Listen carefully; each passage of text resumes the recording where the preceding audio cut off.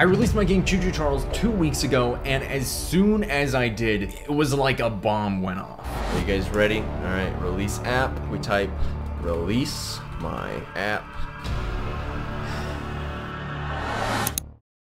Playthroughs, mods, speedruns, songs, animations, real-life recreations of Charles, and lots of fan art. Some of it was questionable, to say the least, but most of it was pretty cool. All in all, I could not have asked for a better launch day, so thank you guys so much for that. It was insane. So with that behind me and things starting to settle down a bit, it's time to start looking towards the future of Choo Choo Charles, things like updates, porting, and future games. So since the game's come out, I've put out a couple of patches for just random bugs and some of the more pressing issues, and over the next month or two, I'll continue taking a lot of reports, fixing more bugs, and releasing more patches. In January, I'm gonna start looking into the porting process and see what kind of stuff I need to do to get the game running on current and last gen PlayStation and Xbox.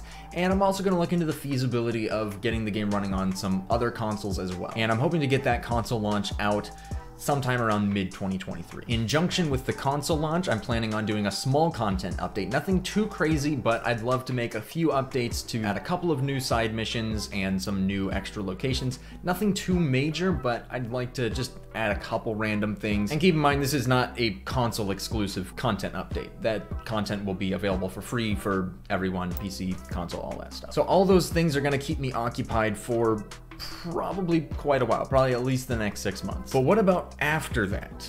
What about Choo Choo Charles sequels, perhaps? Well, that's a great question you've just asked, and uh, I am not going to answer it until I shield my merch, baby! to celebrate launch day, I teamed up with Makeship to make the most kissable spider train in all of the multiverse. Look at this thing. He's Look at those lips. Look at those, look at those smackers. These guys are super limited time. They're only available until January 6th. So if you want one, you can get one right now from the link in the description and card and all that stuff. You guys think I sold out already, but you, you haven't seen the Choo Choo Charles back to school backpacks. Anyways, a major question that I've been getting is when is Choo Choo Charles 2 coming out? This question is very uh, talked about. A lot of people have been asking me, and I have not been able to escape this question at all.